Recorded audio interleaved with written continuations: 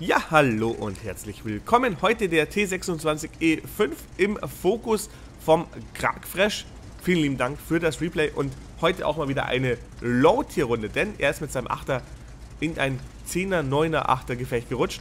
Ist es nicht so unbedingt das Optimalste, aber vielleicht schaffen die drei das hier zusammen, der TVP, der Panther 2 und hier eher da ordentlich was rauszureißen. Denn im Zug kann man natürlich das ein oder andere Mal sich da noch sehr gut unterstützen. Sofern man auch im Zug zusammen spielt, weil das ist nicht immer der Fall. Wie auch hier wieder zu sehen, denn er fährt mit den Heavies und sein Team fährt hier auf die andere Seite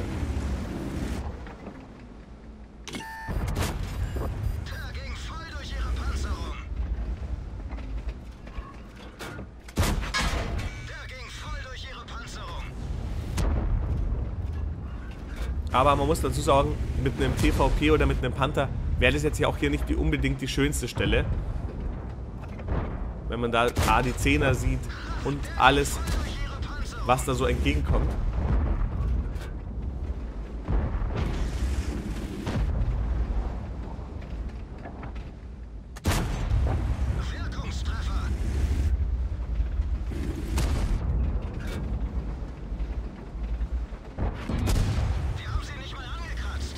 Er macht es jetzt hier natürlich sehr smart. Er spielt ja mit seinem Turm, der wirklich sehr ordentlich bei dem Panzer ist. Klar, da kann man jetzt nicht so die ganz hundertprozentigen Schüsse selber platzieren.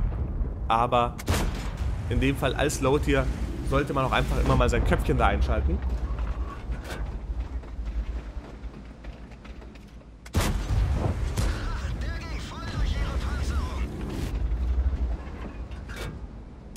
Und ihr seht hier unten, der Schaden gerade auf den IS-3 mit 212 war jetzt nicht wahnsinnig hoch. War natürlich auch ein dicker Low-Roll. Aber man sollte sich da nie aus dem Konzept bringen lassen und nie zu viel wollen. Der Schaden selber sind ja 240 von der Kanone. Also da geht natürlich auch, er hat ja auch schon Hits bewiesen mit 268 auf den STH2, dass da noch mehr drin ist.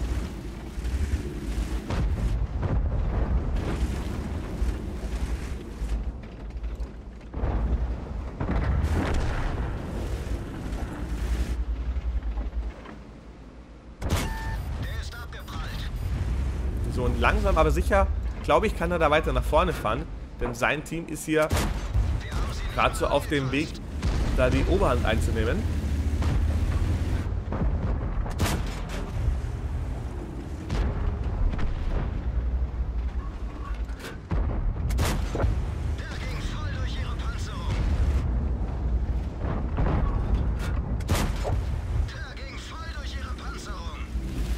Also er macht es wirklich hier sehr schön. Nicht zu aggressiv, das finde ich wirklich sehr, sehr, sehr gut. Denn als Low-Tier ist man ja normalerweise immer ganz gern so, ja, ich fahre rein, mache ein bisschen Damage, gehe raus, keine Ahnung, nächste Runde. Aber er lässt es hier, er lässt sich hier gar nicht aus seinem, aus seinem Konzept bringen, das, was er sich da gemacht hat, dass er sich hier hinstellt und da einfach den Damage versucht zu fahren. Manchmal klappt es, manchmal halt nicht. Aber hier ein sehr schöner Hit, 279 ein dicker Treffer auf den FV.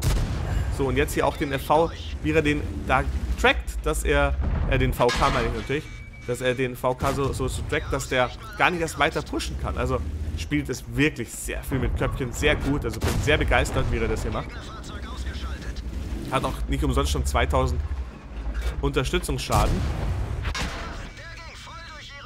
So, und jetzt kommen sie da auch mit Premium-Munition, denn langsam nervt er sie scheinbar doch gehörig.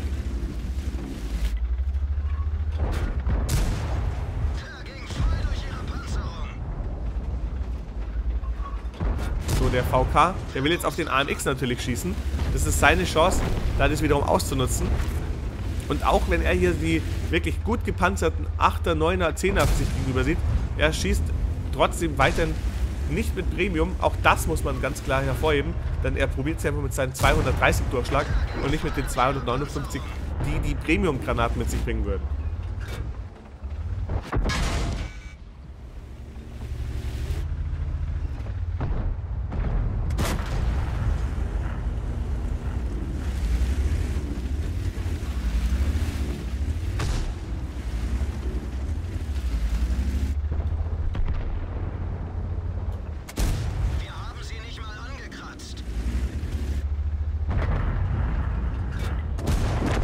Und jetzt ist die Seite wirklich final geklärt.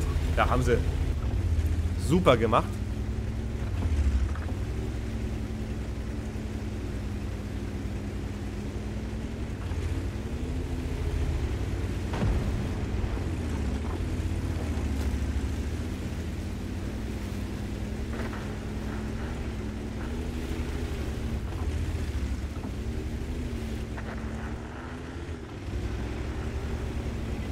Ja, und jetzt geht es natürlich zum Cap rüber. Denn gelaufen ist das Gefecht noch gar nicht. 10 zu 9, das Ergebnis ist immer noch sehr, sehr knapp.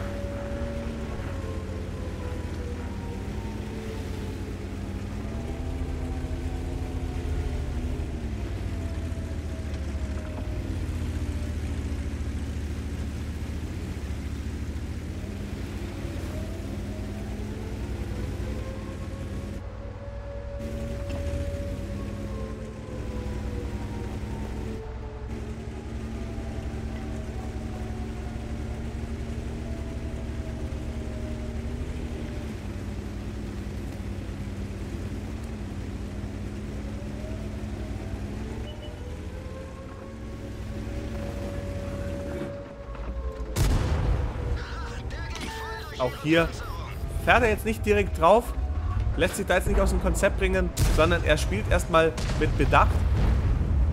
Der Gegner ist zwar im Captain, aber trotzdem einfach erstmal smart spielen. Also ich bin ja sehr überzeugt von dem, wie er das hier macht.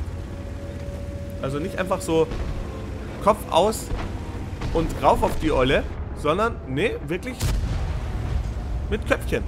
So, 15 Sekunden jetzt bis Decap. Das heißt, jetzt müssen sie natürlich drauf, aber sie haben da noch ein paar schnelle Panzer. Also da immer noch kein Druck. Ja, vielleicht langsam Druck. Ja, sehr gut. Der WZ konnte da decappen und jetzt können sie es da hier ausspielen.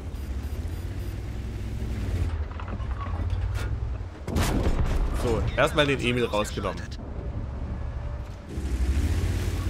Der WZ nervt jetzt gehörig da im Cap bringt also jeden daran, sich zu drehen und zu wenden.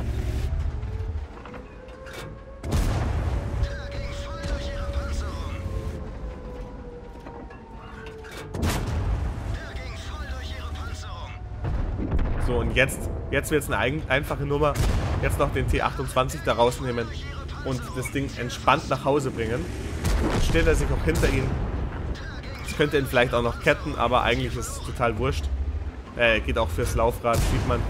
Ah, nicht ganz erwischt. Aber der lässt ihn sich da jetzt nicht mehr nehmen. So, jetzt hat er ihn gekettet. Jetzt steht er. Ja, und jetzt hat er keine Chance mehr. Das weiß der T28 auch. Deswegen gab es hier noch den Schuss in den Boden und fertig war's.